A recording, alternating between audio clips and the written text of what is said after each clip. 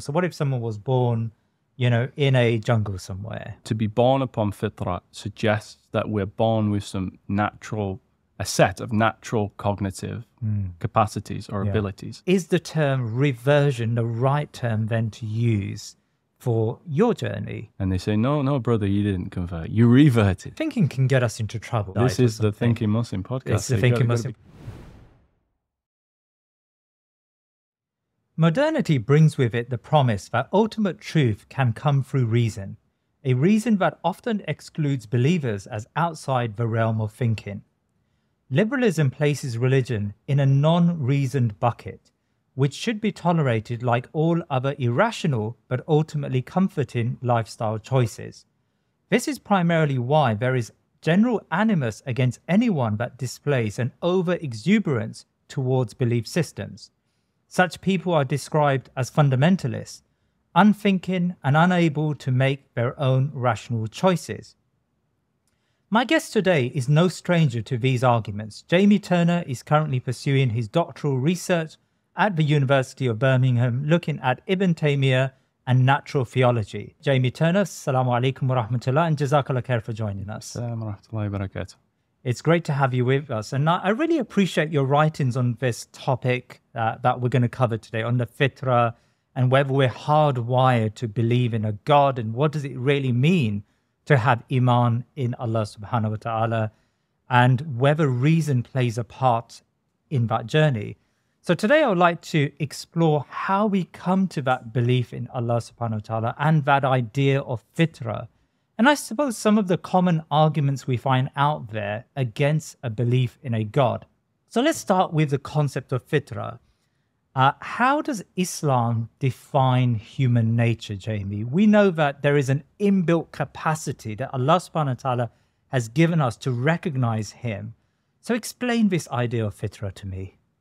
So yeah, the idea of of, of fitra um, in the Islamic tradition has different interpretations. So different theologians have looked at fitra differently. The way that I look at fitra um, is influenced by a medieval uh, theologian, Ibn Taymiyyah. Um, but the concept of fitra is first and foremost Quranic. So um, in the 30th chapter and the 30th verse uh, of the Quran, portion of that verse uh, reads فطرة الله التي فطر الناس عليها which basically denotes the idea that God fashioned or created human beings upon a certain nature. So, um, in my mind, this is not particularly controversial. Uh, the idea that we as human beings have a basic nature that's common to us, uh, that we share or participate in, makes sense because um, how otherwise would we identify one another as fellow human de- uh, fellow human beings if we didn't have uh, a common nature? And so that that's one uh, angle. Um, I, I mean, I'll, I'll approach it from that angle in a second. Yeah. But there's a, there's another element to this. Um, there's another verse in the Quran which Muslim theologians like Ibn Taymiyyah sometimes connect to uh, fitra, which is sometimes called the verse of the primordial covenant. So there is this verse in the Quran in the seventh chapter, in the 172nd verse, um, and a portion of, uh, of, of that verse basically sets up this scenario where God is addressing all of human beings prior to them being created in the world. So we could think of that as them being in, in, in the form of their soul or in their immaterial state. Yeah. And, and God addresses human beings and, and says, Alastu bi rabbikum, am I not your Lord? Um, to which humans reply, Qalu uh, bala shahidna. And they say, yes, we bear witness. Wow. So, what's the relationship then between this idea that God created all of human beings upon a certain nature and then this idea of a, of a primordial covenant with God? Well, the way that I see the relationship in following Ibn Taymiyyah is that basically we can we can look at fitra from from a cognitive point of view. So we can we can think of fitra as referring to um, our basic human nature with respect to our cognitive abilities or capacities such as reason, perception, memory, introspection, maybe intuition or a moral sense if we have one. Um, if we think about all human beings, generally speaking, they have these capacities just given their very nature, or as we say, given their very fitra. Mm. Uh, and an additional capacity, as per this primordial covenant, is this basic theistic disposition that we have. So it's as if God has fashioned us upon a certain nature, and the remnants of this primordial covenant remain within our human nature. So, in addition to reason, perception, memory, and so on, we also have this basic theistic disposition, yeah. um, which is inbuilt within fitra, so to speak. And this again is is is interesting and not necessarily that controversial because uh, recently in the cognitive science of religion, um, thinkers have basically come to a consensus that that that theistic belief or belief in God is somehow natural uh, to human beings, uh, and there are various different ways of of spelling this out. But I'll just mention one mm. one way. So. Um, some cognitive science religions uh, say that human beings in their more primitive state uh, during their evolutionary history um, basically developed certain cognitive abilities to think, to reason, to perceive, and so on. And, and one of those abilities um, is to detect agency, to detect whether there's an agent, maybe a predator, maybe another human being, maybe their prey. Um, and they call this special ability a agency detection device. So we have this sort of inbuilt um, capacity. So if you imagine human beings, uh, again, in their more primitive state, maybe if they were to hear rustling in the bushes or a, a thud in the night or uh, maybe tracks on the ground or crop circles, human beings developed this ability to detect these mm. as um, instances of an agent being involved. And so formed uh, agency-based beliefs, mm. i.e., there's uh, an animal that's been around or that's uh, forthcoming or a human being. Um, and then these cognitive sciences of uh, these cognitive scientists of religion also say that there's this second ability, which is called a theory of mind, which works in tandem with this agency detection device, which layers on the kind of uh, characteristics or attributes of this agent. So, how does this connect to belief in God? Well, some thinkers say that where there are certain maybe uh, patterns in nature um, or instances of fortune or misfortune or coincidences, and human beings have not been able to reasonably attribute a uh, physical, natural agent in those instances. Human beings have naturally attributed that to a kind of metaphysical or supernatural source. So I think that lends some credence to the idea of this primordial covenant and the idea that yeah there's a connection there so if i've understood you right you've got uh, these mental capacity you've got the ability to reason and to think your cognitive abilities as you describe yep. them but on top of that allah subhanahu wa ta'ala has hardwired within human beings this human nature this fitra which brings them closer to a belief in a metaphysical being, a belief in a uh, in a in a creator, in in a being outside of man and the universe. Um, I wonder how much. So, for example, I've sent a, a, a I don't know a picture the other day of aliens, uh, places in the world where uh, you've had alien sightings, mm-hmm. and uh, the majority of of supernatural alien sightings of either in Europe or North America. So you don't get very many alien UFO sightings in Africa or in you know, in Central Asia or is that because these are societies that have moved away from a belief in God, yet they've got this hardwired fitra which what which is urging them or which provokes them to to believe in something that is supernatural in inverted commas? And so they're they're replacing one one belief the correct belief we would say with an incorrect belief. Is that is is fitra within that, if I got that analysis right? Yeah, potentially. So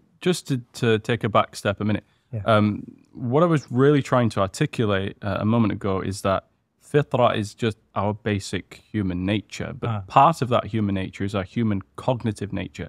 So the it refers to the various cognitive abilities that we have, as I said, reason, memory, perception, so on. And in my view, our say theistic disposition or faculty is just one, One of of those many capacities that we have in virtue of our very nature. Yeah. Now, yeah, it may be the case that um, as human beings develop and form certain concepts, such as a concept of aliens or or other similar agents, that um, when they see patterns or instances of um, design or what looks like to be uh, an instance of an agent being involved in the world, um, the theory of mind, which does the filling out, which works to fill out the details as to what the nature of that agent is, um, that could make reference to concepts that we've formed um, more recently, such as the concept of aliens and so on. Right, right. And so, yeah, maybe you're right. Maybe it is the case that uh, as the the, the um, concept of God has has uh, shifted away, um, maybe uh, other concepts have been brought in, and uh, they're attributing instances of of design or something to some of the creatures. Um, yeah.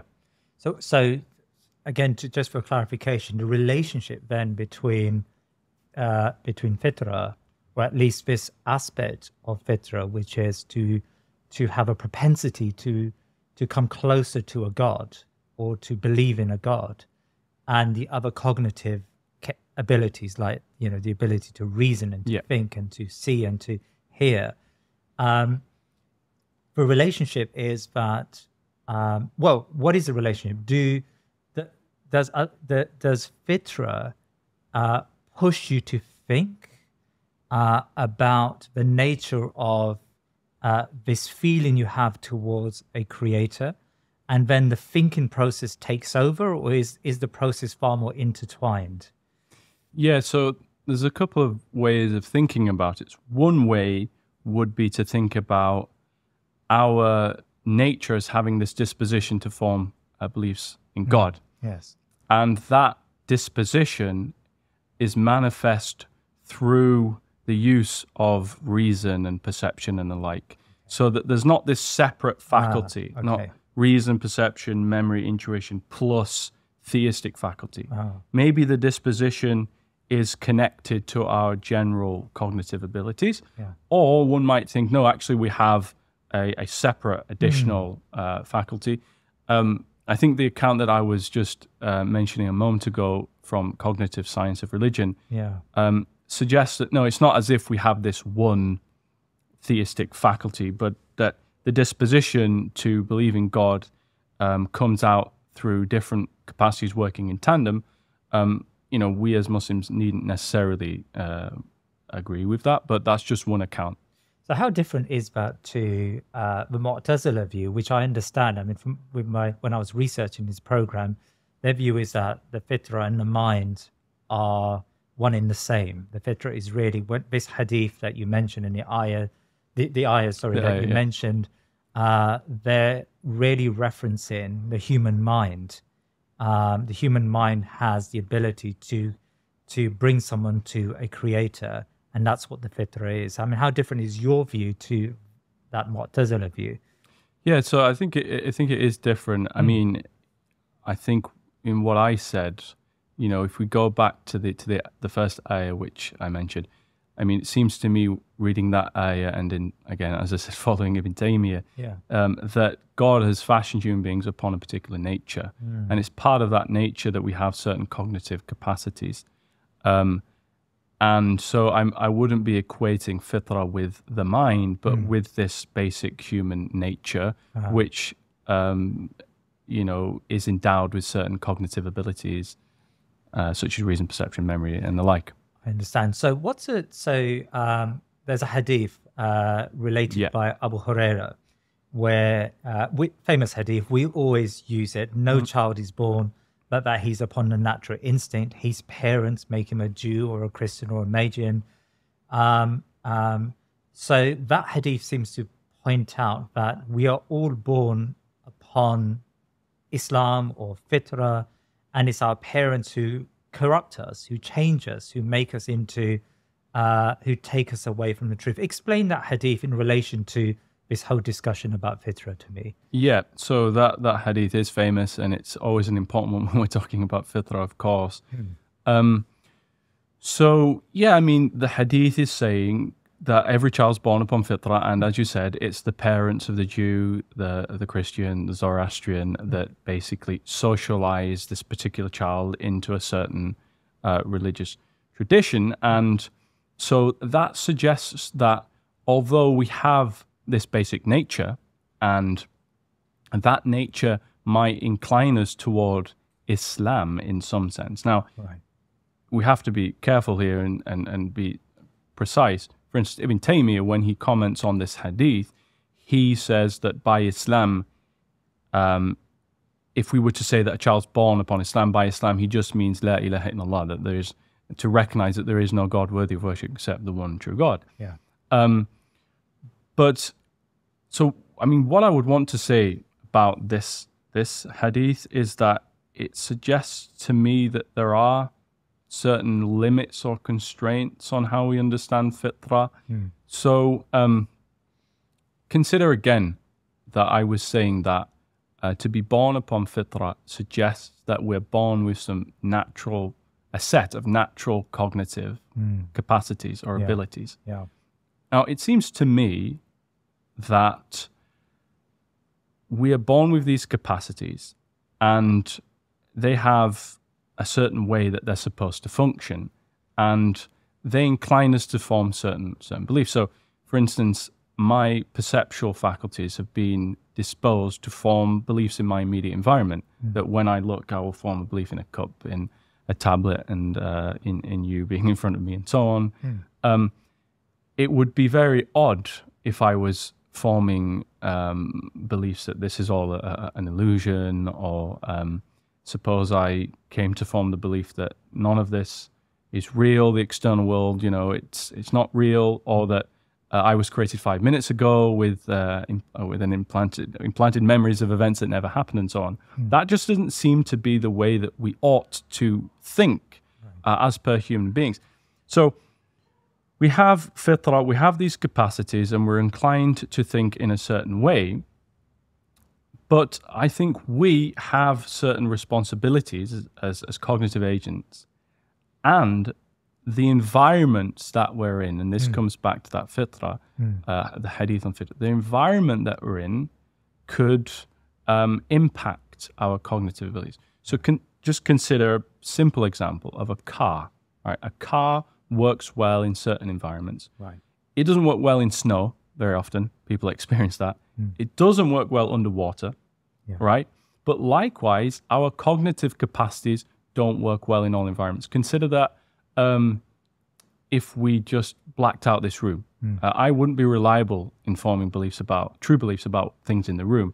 Or if I'm, you know, in a, a place where there's high altitude mm. and I have access to little oxygen, or if I'm underwater and so on, these are not conducive to me forming true beliefs right. uh, perceptual beliefs, right?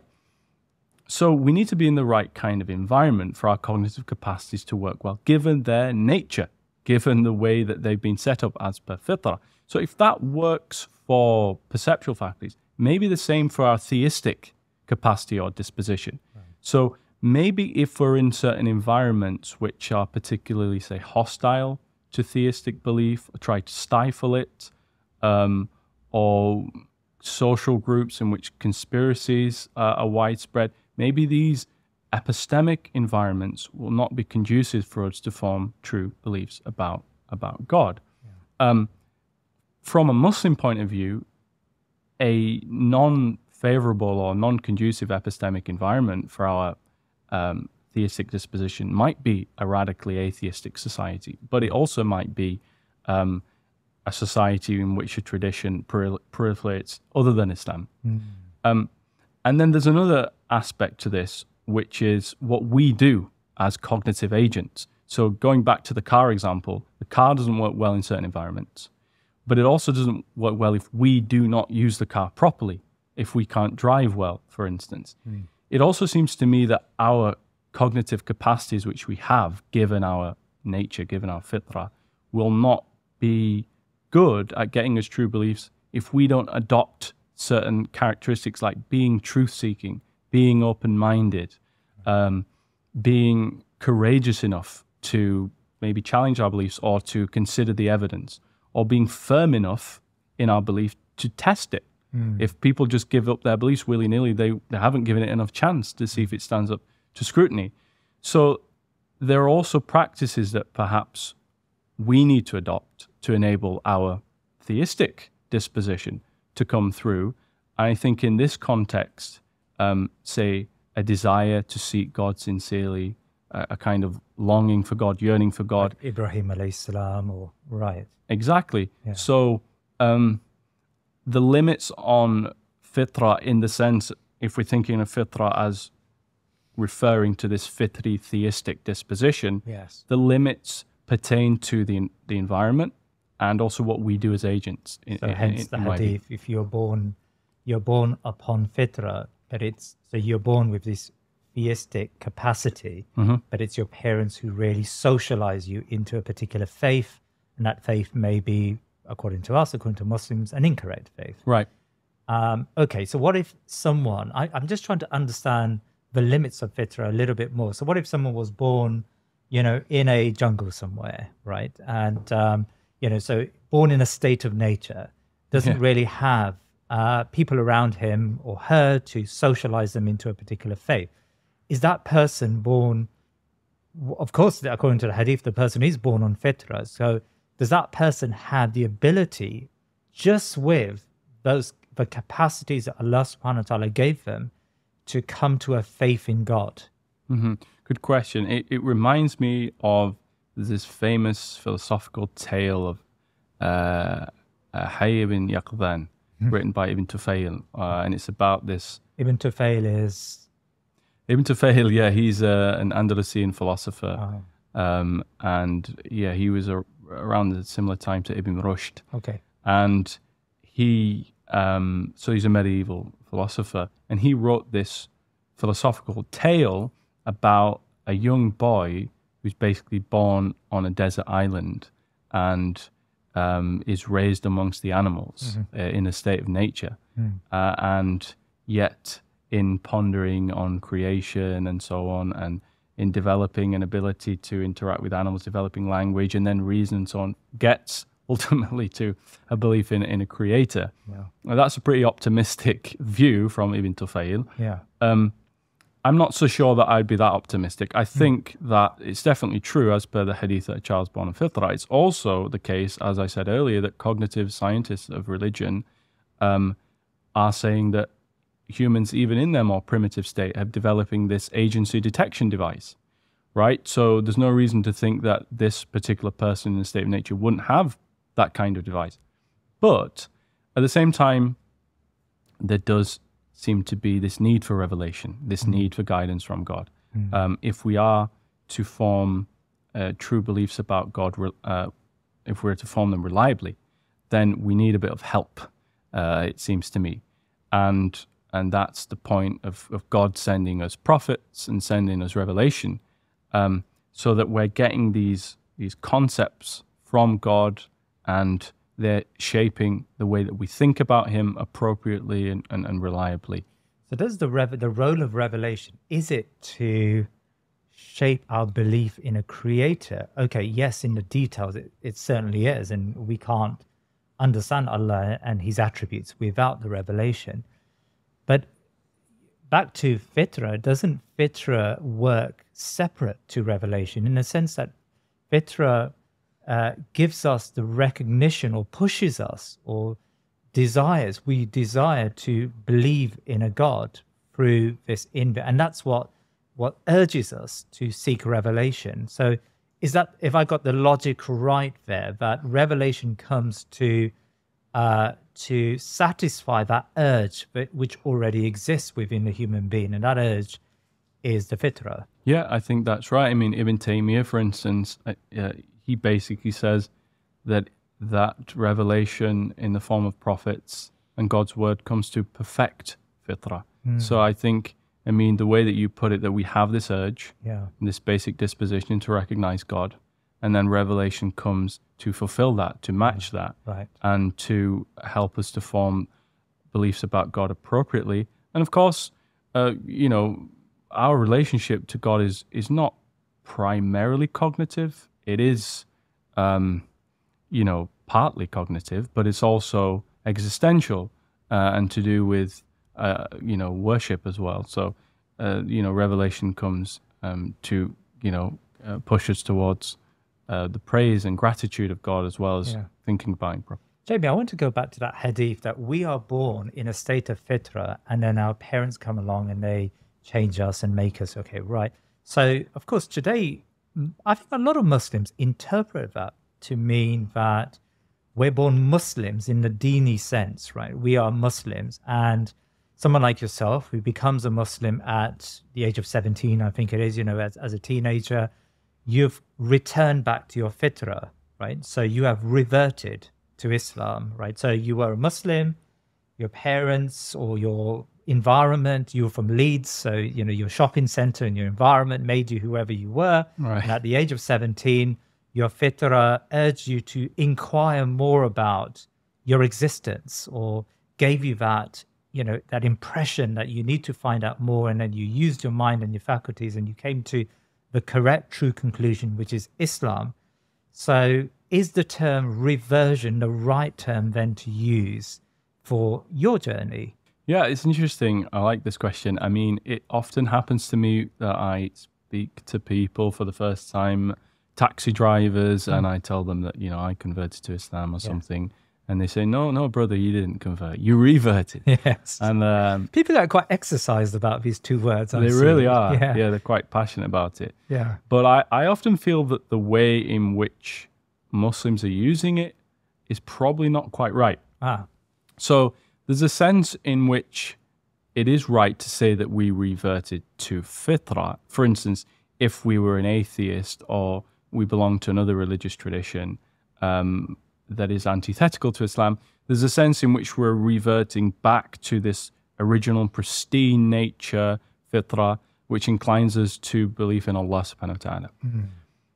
But that, I mean, I think as I mentioned earlier, say Ibn Taymiyyah, when he comments on this hadith, Yeah. basically says that fitra refers to Islam in the sense of La ilaha illallah, that there is no God except Allah. Hmm. Um, that's a bit different from the deen of Islam, deen al Islam, the, the religion itself. So it's not as if children were born with uh, beliefs in Islamic doctrines uh, and were adhering to a school of law or uh, recognizing certain relig- uh, rituals as obligatory upon them or something. It seems to me that it's more appropriate to think of us actually converting deen wise, right? That we left a particular way of life for another, a new one. Um, so revert to fitra, maybe convert to Islam, though, I think. And so I think generally speaking, convert's probably more uh, correct. Okay, that's. I think that makes a lot of sense, and that sits more comfortably with me actually in the way I understand fitra and understand Islam as a deen. But I know that I note that there are some scholars who argue that fitra is a thicker concept. It's a bigger idea than just maybe Ibn Taymiyyah's version of fitra. Fitra inclines you not just towards a creator, but also inclines you towards the ahkam sharia. And so, for example, if you see I don't know, someone a Muslim praying and you're a non-Muslim, your fitra is is provoked. You you see that to be a a correct manifestation of your human nature. Or if you see, I don't know, the uh, I don't know, let's find the payment of zakah, you know, uh, of charity that inclines you towards Islam. I mean, is there anything within that understanding that you could you could ac- accommodate as a as a Taymiyan? Yeah, well, I, I mean, Ibn Taymiyyah's uh, idea of what concept of fitra is is thicker than what I've been saying. I Ah. mean, there is more to it. Yeah. One of the things that Ibn Taymiyyah is quite clear about is that as per our fitra, we have a capacity to form certain moral judgments. So we have a moral sense of what's right and what's wrong, Ah. or what's good and what's bad. Yeah. So perhaps, for instance, the zakah e- example, giving in, in charity, say, um, paying our alms, that is recognized by us naturally as a praiseworthy and valuable, worthwhile thing to do, a good thing. So um, maybe there is some relation there. Maybe it, uh, it um, resonates with our moral sense or intuition, which we have as per our fitrah. So perhaps, yeah, we could, you know, draw out that relationship in those instances. So someone could be inclined towards. I mean, so you know, I I um uh I would like to ask you a little bit about your journey, Ben. Like, you became a Muslim at a, quite an early age, I would say. Yeah, you know, at seventeen definitely. years old. So, you know, how, how I'm sure everyone asks you you this, but in relation to fitra, how did you become a Muslim? Like, looking back, did the the idea of fitra play a part in that journey you had when you came to Islam? I think it did. I Yeah. think it did. I mean, I was raised in a, a typical British family, not religious. Um, and say, me and my brother, for example, raised in the same home, very, very different. But I had this um, this yearning for for philosophical questions. Maybe why am I here? Where am I going? What's the point? Yeah. Even when I was No about one provoked that. You just had that in you. I think, yeah. I mean, clearly, when I went to, I mean, when I went to primary school, I learned about religion and learned about Christianity and other religions. Mm. But I seem to have this natural inclination to just ponder and wonder, even when I was about seven, like, what, what's the point of all this? Why do I exist? yeah. And as I said, I wasn't raised raised in a religious household, but I had I, I had a copy of the Bible in my house. You know, um, even though it wasn't really to be there to be read, but um, and I used to try and open it and have a look, and I didn't understand what's it going on about with Gentiles and Pharisees and this, that, and the other when I was very little, so it was a bit confusing. But I remember stumbling upon the uh, w- one of the verses which which basically says, um, "Seek and you will find; knock and the and the door will be open for you." And I think I was quite taken aback by that that verse because I was thinking to myself, I want, I desire to know God. I want to have this relationship with God. And so that's a fitrah. And then reading this biblical verse, it gave me some optimism. Maybe actually it's possible. Maybe if I do seek, I will find. Um, yeah. What is the role of the mind in this whole process in arriving at a belief in Allah subhanahu wa ta'ala? So we've talked about fitrah and we've said that we're inclined towards God. Uh, does the mind have any part to play in that journey to become a Muslim and a believer? Yeah, I mean, I think like by the by the mind, do you mean re, being reason, the fact of reason? yeah, Yeah, yeah. Because I think I think of the mind as just more generally encompassing like cognition, more generally, our ability to think. Okay. Uh, reason I would see is like a more specific faculty, like Right. the ability to recognize logically self-evident truths that one add one is two, or to form inferences, Right. um, and so on. So sometimes people think when we talk about believing God by way of fitra, Yes. that reason necessarily takes a back seat a blind faith and or yeah, something like that. an emotional uh, experience, Mhm. spiritual experience brings you to God. Yeah, but I, I wouldn't look at it like that. Ah, So I think so. If we just consider again our other um, faculties, so like memory. Say, um, I could be having a conversation with you, and I'm trying to get you to remember something, and, and I'd say, "Oh, do you remember when we met that time? You know, a few years ago, and we're at that restaurant, and there was that guy in the corner, that funny-looking man, or whatever we were talking about." and and you're struggling to remember it but i'm trying to prompt you. And maybe there's a particular detail that i mentioned then you go ah yes i remember now. Yes. that's memory. Perception if i want if we're out maybe we're in, we're in the forest and we're maybe we're, we're bird watching bird spotting i don't know if you're interested in that. I'm not saying i am. But suppose we were and I'm trying to help you see what I can see, I would try and draw your attention towards something, some feature in our external environment. So I'm Yeah. prompting your perceptual faculties to form certain beliefs. Right. So I think that reason or rational reflection, say pondering uh, the natural world, Yeah. thinking about um, certain features of it, how it seems to be well put together or designed, how it seems to be contingent, and, and other features, that might act as a prompt for our fitri or uh, fitri, yeah, theistic disposition Right. to come through. So there is that relationship there. Um, there is another aspect, which is suppose we form a belief in God by way of fitra naturally, but we are um, we're faced with certain objections um, to our belief in God. Um, reason will come in there as well to uh, repel such objections. Say that we have to respond to them reasonably if we want to be reasonable in continuing to believe in God. So I think those are two ways to think about how reason is still an important part of the process, even if you're believing by way of fitra. you know, you hear a lot uh, that, uh, and I know this is a, a debate within traditional Islam as to how one arrives at, at a belief in a creator.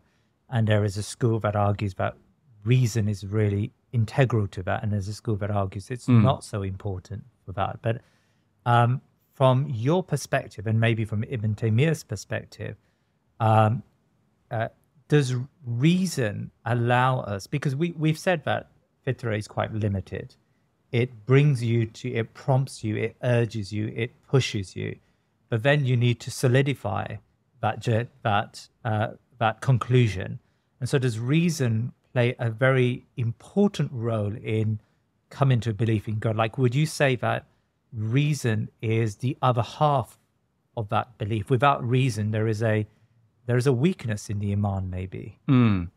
So there are a couple of things there. Um, so the first thing about, um, say, I mean, you said that that that fitra is limited to some extent. I mean, it is. Um, maybe I've laid a bit too much emphasis on its limits because I still think that the capacity of, of fitra is is is quite uh, substantial.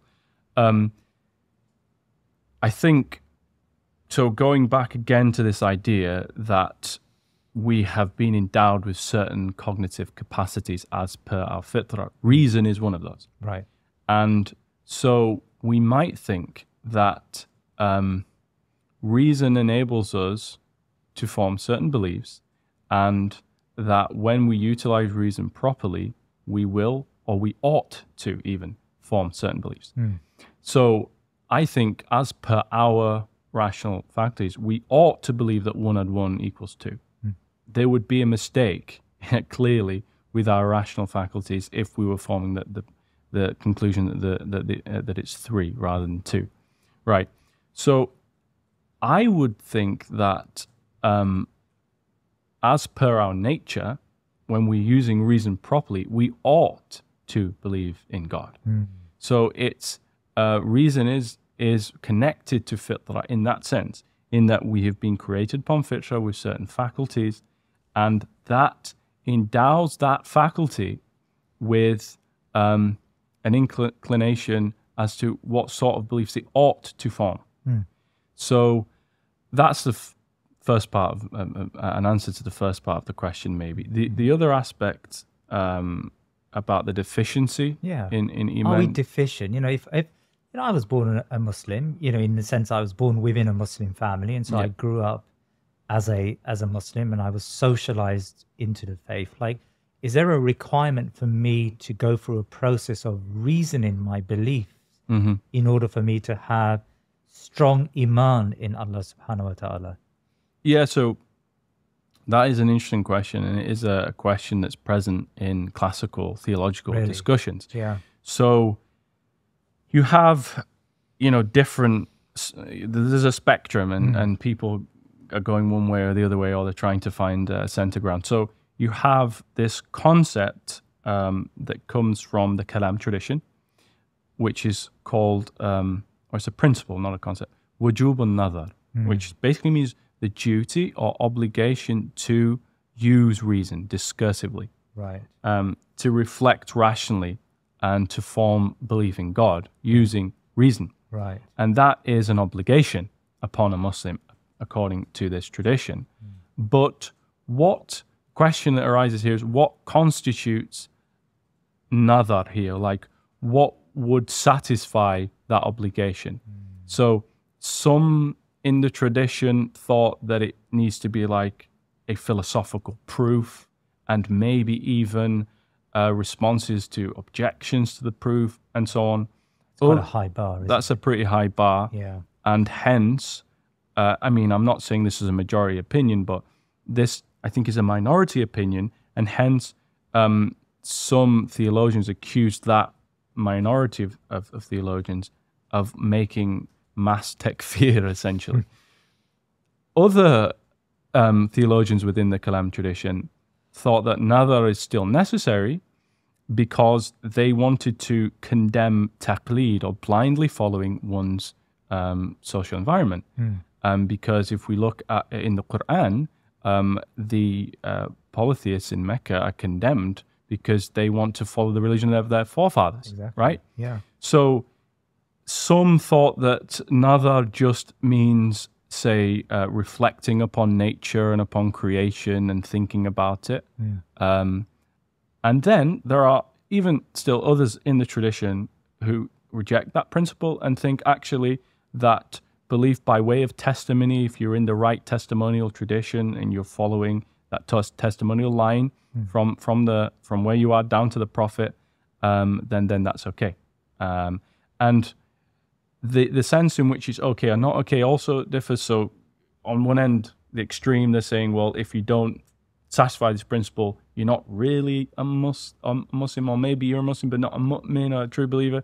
Others are saying, no, you're still a believer, but you're sinful, or something like that. Okay. There's still this duty.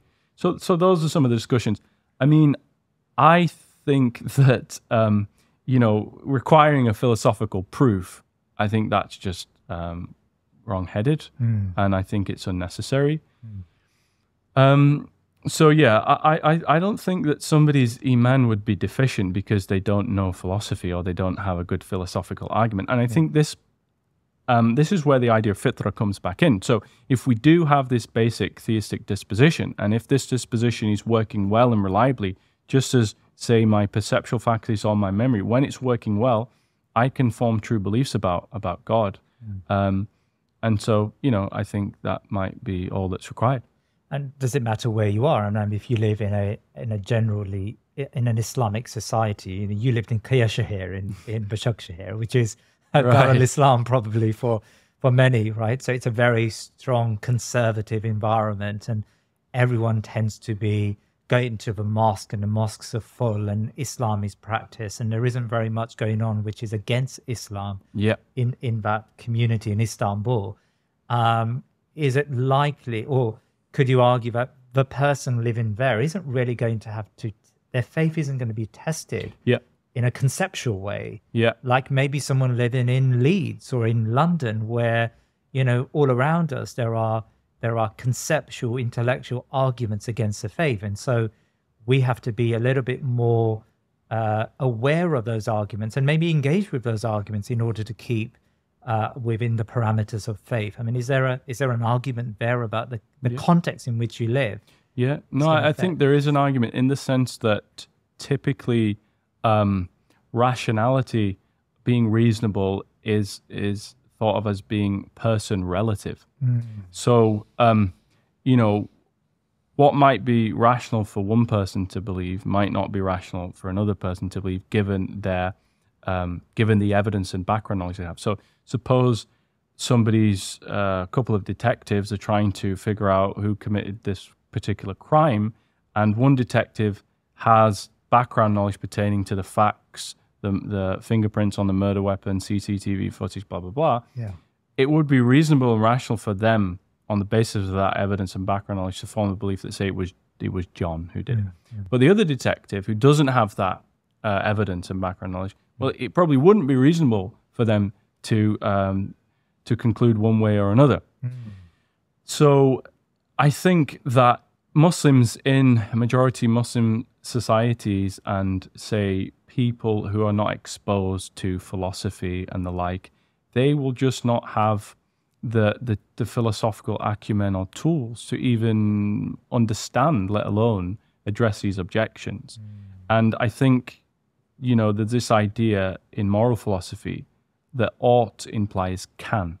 Like you can, you're only obligated to do something if you can actually, if you can actually do it. You, you're not going to be held morally accountable or responsible if something is beyond your control. Mm-hmm. Um, so, you know, a Muslim grandmother living in Başakşehir yes. w- cannot be obligated to um, engage in philosophical reasoning because she can't. she doesn't know how to do that. Yeah. So yeah, I think uh, that that's a fair point. Ask you Ben about thinking because thinking can get us into trouble. Now, at the risk of sounding like I'm a I don't know a luddite. And this is the Thinking Muslim podcast. It's the so Thinking Muslim podcast, but you know, I, will give you a, a, a, quick anecdote. You know, a friend of mine who, or a, a, person I know who is a, a courier driver. You know, he's not yeah. a he's he's not someone who, yeah he he's lived in a Islamic environment, doesn't have any iman problems. You know, he lives a good Muslim life.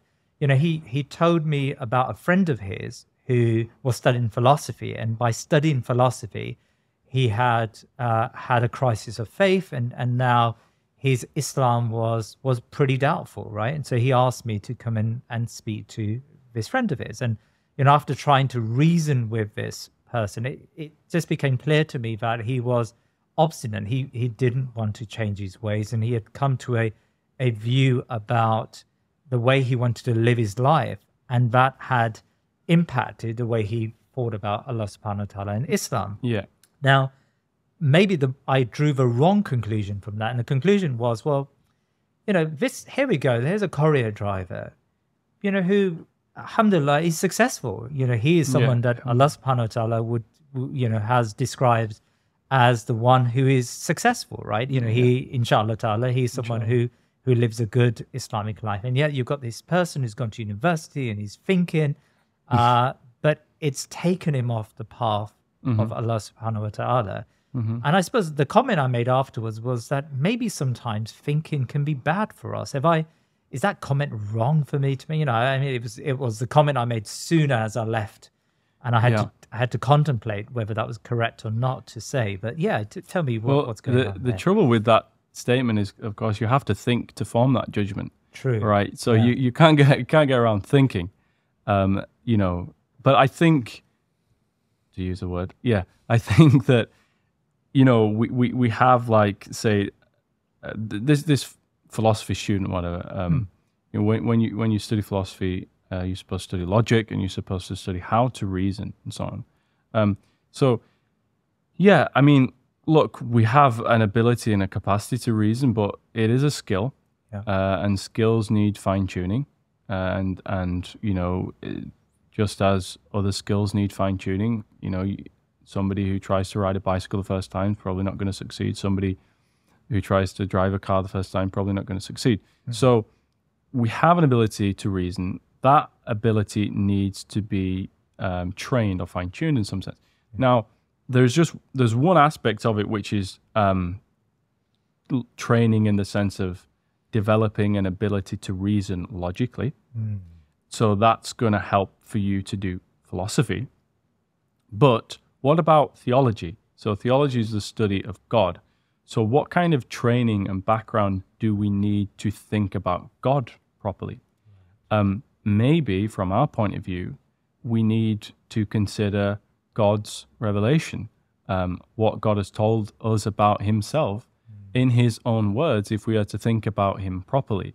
So, I think if somebody's not embedded within that framework, say, um, then they're liable to make mistakes and mm. be unreliable in their theology, in their thinking about God. Mm. Um, so, yes, if we don't have that um, embeddedness within the framework, um, our ability on on our own, all by ourselves, to get us to the truth um, might not always hit the mark. But isn't it scary? I mean, you know, you you uh, study philosophy. You're a philosopher, and you know, we know that large numbers of Muslims today are studying for social sciences and, and are going into philosophy and, and these sorts of disciplines. Yet, uh, I do fear that uh, without, I don't know, limits is probably the wrong word, but some frameworks to thinking, they are going to be sucked into kufr, sucked Mhm, into mhm, mhm. disbelief. I mean, is that a is that a, a warranted fear? uh, You know, as Yeah. someone who studies the uh, the discipline. Yeah, no, definitely. I mean, when you enter into a philosophical setting, classroom discussion, everything is up for grabs. Right. Your religion is not given some kind of special privilege as it would be when you're in a Islamic seminary or, or something. So, you know, everything's up for grabs, and the question of whether God exists or whether Islam is true is up for grabs too.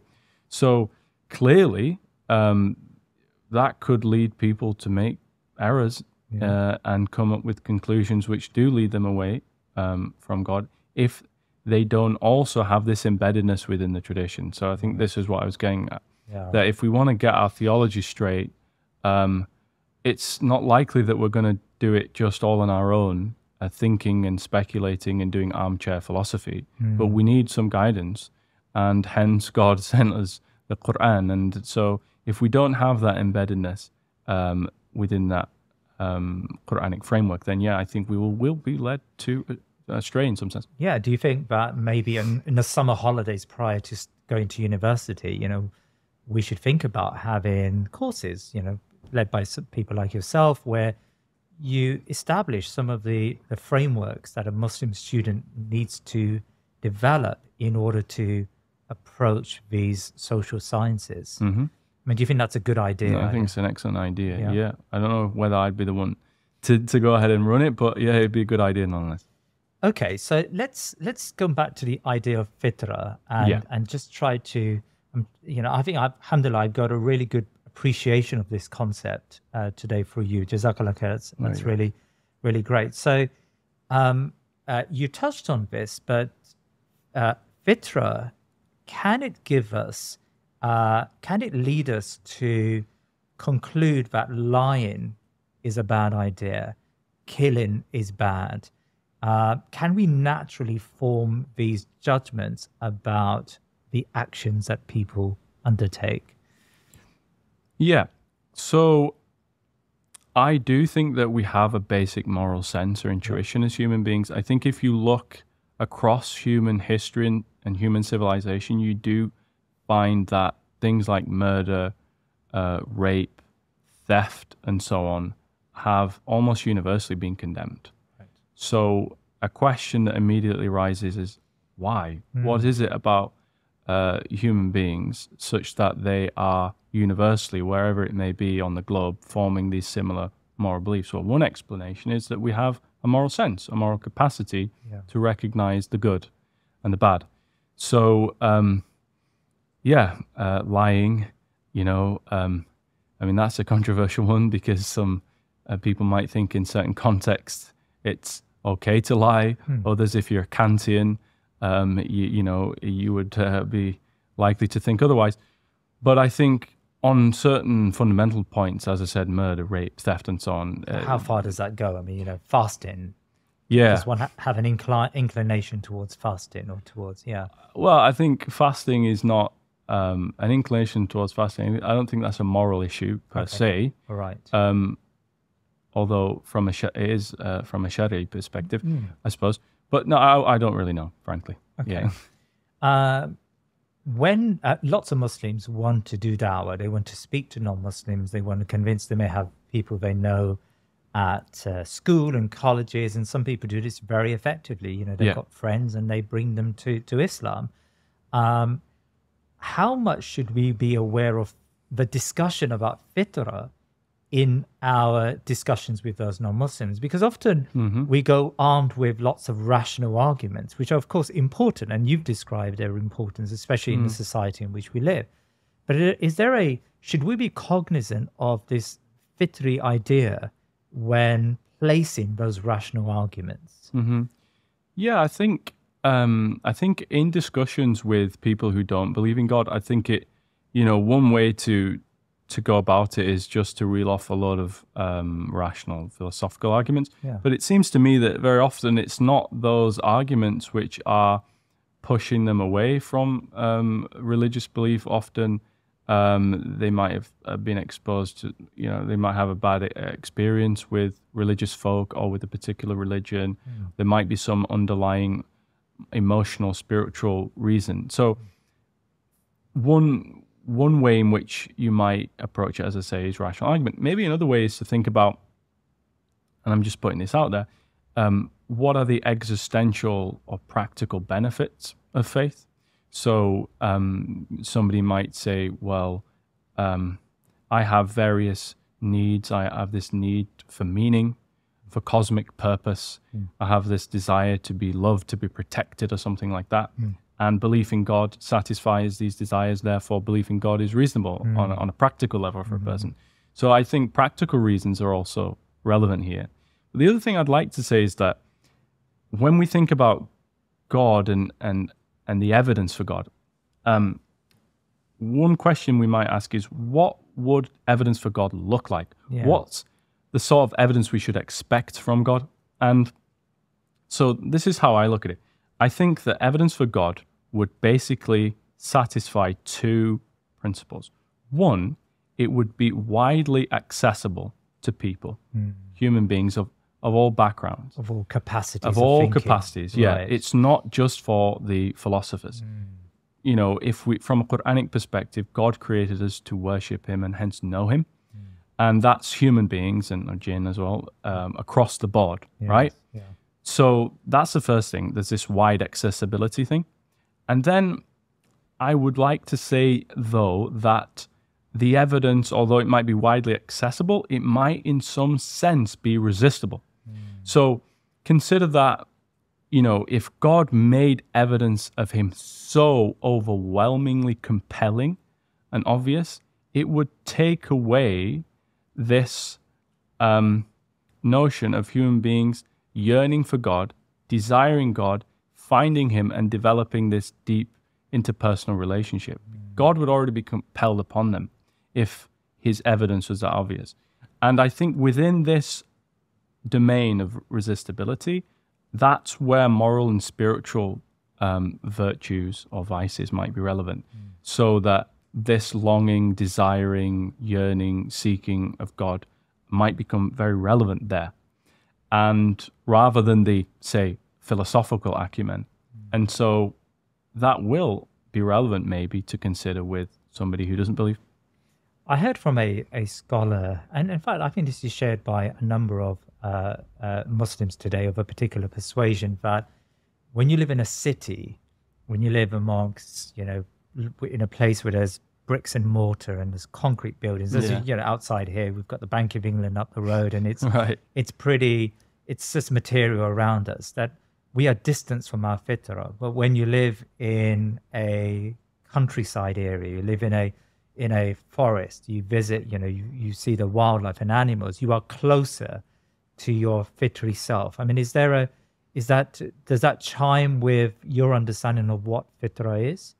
Well, I mean, th there's one thing here that um, I think I, it was some time ago that I, I, I- I caught sight of a video by Sheikh Hamza Yusuf, and uh, and he was talking about you know the the majesty and glory, uh, gloriousness and magnificence of the stars at night, which you get to experience if you're in the desert, Yeah, but you don't experience that because of light pollution in the city true.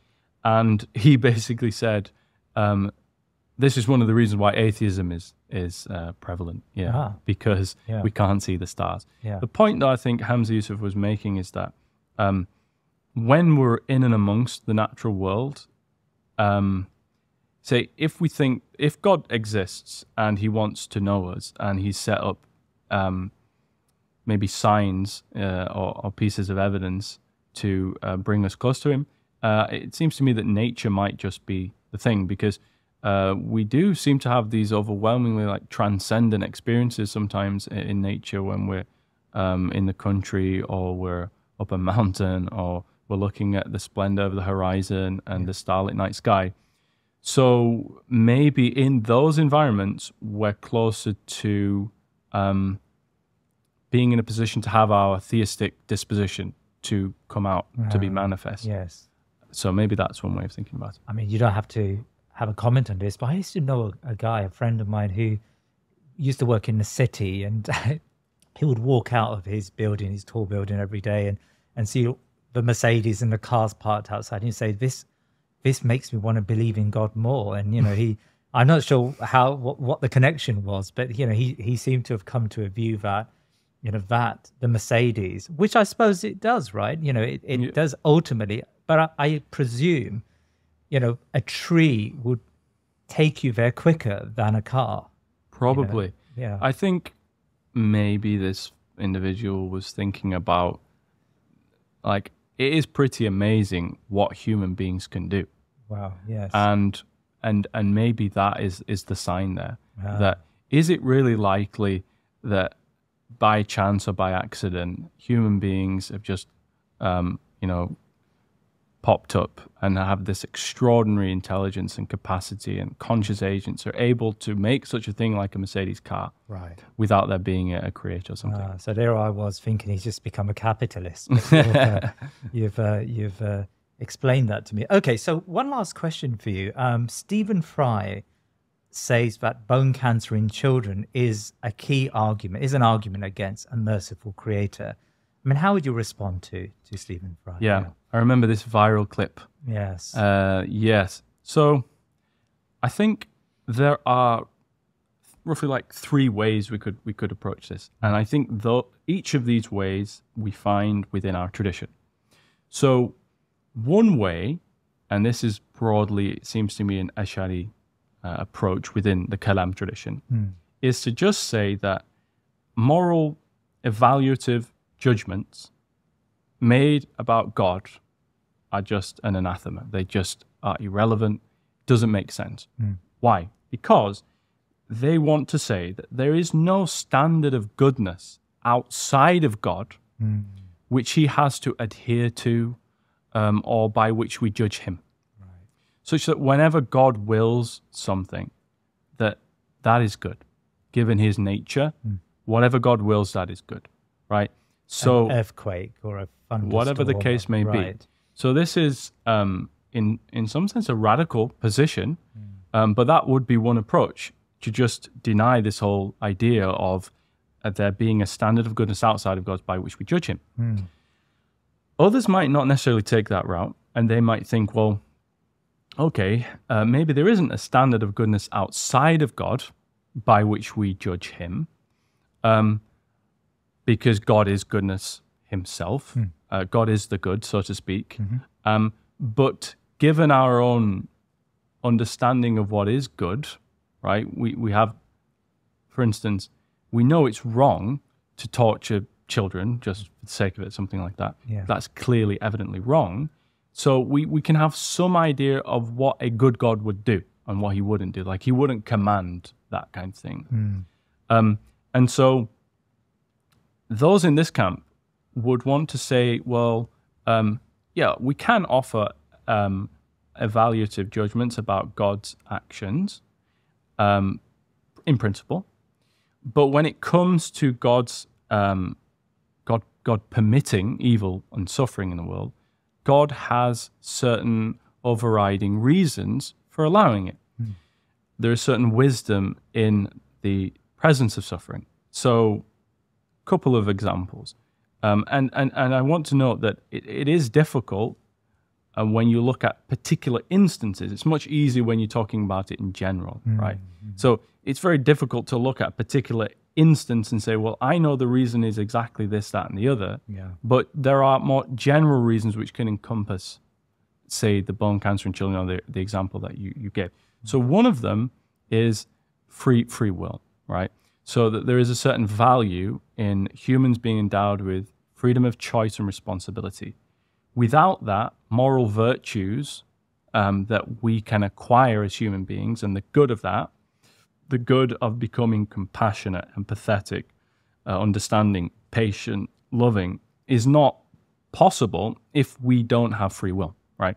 If we are compelled to act in a certain way, you can't attribute any goodness or badness to that particular agent because they're just being compelled. So free will is a great good and, and, and great thing. And unfortunately, clearly, um, humans have then the capacity to do things that are not good, mm. right? But if you eradicate that, you you eradicate the capacity to do good and all of the great and valuable things that come with that. Mm. So that's that's one one element, and that's um, also related to this idea of soul building or soul making or something like that. Mm. But related to that, and this now touches on the idea of natural evil, evil that comes by way of earthquakes or tsunamis or these natural diseases, is the idea that if God is to give human beings moral choice, freedom, and responsibility, because that's a great good, um, then God can only do so if he sets up the world according to certain natural laws or regularities. So, for instance, if um, say we, we know that when when we if we uh, put a bullet in the gun and we fire it, uh, then the bullet will, will, will come out, right? And we know that because given the nature of guns and bullets, that it, it follows that regular pattern. Yes. But suppose there was no regularity and we had no idea whether it's going to shoot, whether it's not going to shoot. In a world like that, uh, it would be very difficult for humans to have moral responsibility over their actions and choices because they wouldn't be able to um, determine the outcome of their of their actions. And so it might be the case that God has to, if He wants to achieve this great good of humans having moral choice, freedom, and responsibility, um, to become uh, to acquire these virtues, um, it might be the case that God needs to set the world up according to natural laws and regularities, and it might be that an offshoot of those natural laws and regularities is certain disasters as well. Mm-hmm. And note that those disasters also give opportunities for humans to do great good. If we take the example recently in Turkey, this mm. terrible, disastrous incident, Earthquake. Yeah. the earthquake, Yeah. and yet there is great good in human striving and all of the virtues that come about with humans responding to that. Now, that good is not possible if mm. there's no earthquake. Yeah. Emotionally, of course, this doesn't do, and I'm not trying to. Uh, I would never, you know, use this to satisfy somebody's um, own sufferings and so on. Yeah. Uh, they need to be consoled, but intellectually, that's one way to look at it. The third way is the following, and sometimes in, in philosophy of religion, this is called skeptical theism. So, do you know in the Quran, there's a verse in the second chapter in Surah Al Baqarah um, where uh, Allah subhanahu wa ta'ala, God tells the angels that He's going to create this Khalifa, this representative, vicegerent on the earth, the human being. Yeah. Uh, and the angels respond by saying, you know, what will you create uh, that one who will cause bloodshed and corruption on the land? And God replies and says, I know that which you don't know. Yes.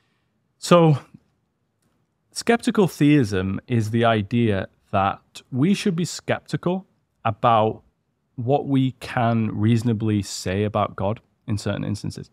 So, we know that God in Allah subhanahu wa ta'ala is um, infinitely good and infinitely wise. So, given his nature, we know he must have a morally sufficient reason for allowing the, the suffering. Maybe it is to do with free will, maybe it is to do with soul building, soul making, and so on. But even if God does have a reason, why should we think that we know about it? Yes. Why should we think that we would have access to those reasons? Because God is, you know, um, Soren Kierkegaard, the famous existentialist Danish philosopher, said there is an infinite qualitative difference between humans and God. So why think we as limited human beings would have access to God's reasons? And so, um, yeah, we could rest content. And I think this is where virtues like tawakkul Allah, you know, trust in God, come. That we know God is good, we know He's fully wise, so He must have a reason. Why think I'd know it? Jamie Turner, it's been fascinating, and it's uh, you've allowed this Walthamstow boy to understand a quite a complex subject in an easy way. So I thank you very much for that. My pleasure. Thanks for having me on. Oh yeah. Please remember to subscribe to our social media and YouTube channels and head over to our website thinkingmuslim.com to sign up to my weekly newsletter. Jazakallah khair.